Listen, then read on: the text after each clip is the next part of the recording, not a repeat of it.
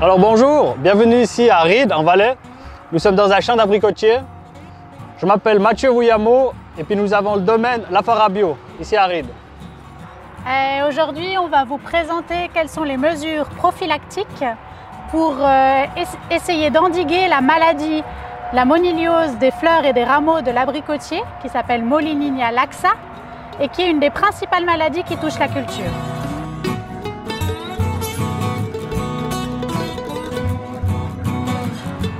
Le champignon Monilinia laxa va rentrer dans la fleur et pouvoir infecter tout le rameau. Il se propage euh, d'autant plus s'il y a de l'humidité lorsque l'abricot est en floraison. Alors que pendant la floraison, il y a pas mal de traitements qui sont effectués sur la fleur pour essayer d'éviter l'infection du champignon sur l'abricot. Typiquement cette année, combien de traitements tu as fait Mathieu? Alors cette année, nous avons effectué quatre traitements depuis le début de la floraison jusqu'à la fin de la fleur, principalement avec le cuivre et du soufre. Mais il a fait beau temps, donc euh, ça nous a bien aidé aussi. Qu'est-ce que tu es en train de faire pour limiter la propagation de la maladie? Alors maintenant, on passe dans le verger.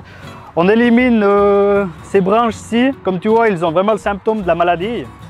Donc on les coupe et on les, les exporte du champ afin que la maladie ne se propage pas et puis que ça atteigne les fruits. Comment est-ce que tu procèdes pour contrôler euh, la présence de ces symptômes?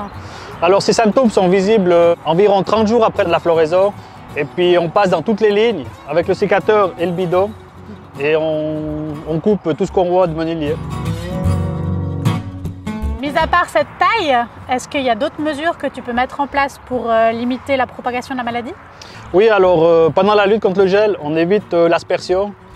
On préfère utiliser les bougies sur la fleur afin d'a- de ne pas apporter de l'humidité dans les bouquets floraux.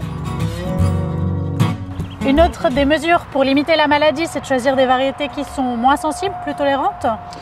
Oui, c'est exactement ça. Alors quand on renouvelle un verger, on fait vraiment attention aux variétés. On a à disposition une liste euh, de variétés qui sont plus ou moins résistantes et tolérantes aux maladies, comme typiquement euh, Mia et Elsa, qui sont plus résistantes à la bactériose et à la moniliose des rameaux.